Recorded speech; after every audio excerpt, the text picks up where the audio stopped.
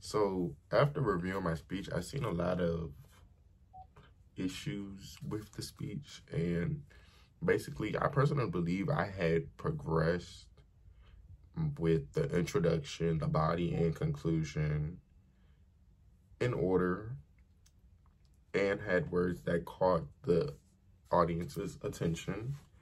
I think that my strengths in my speech would have to be having would have to be having great language, engaging with the audience, and being organized.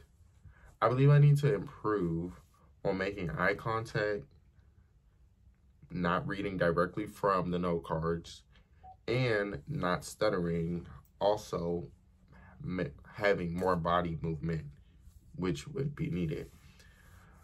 From one minute to two minutes, I'm reading straight from the cards. Didn't pick my head up, not looking around, nothing. At four minutes and 30 seconds, I, I stuttered and I, I stopped really explaining the slides and just kept going. And then from five minutes to 7.50, I kept reading directly from the note cards and was stuttering a lot.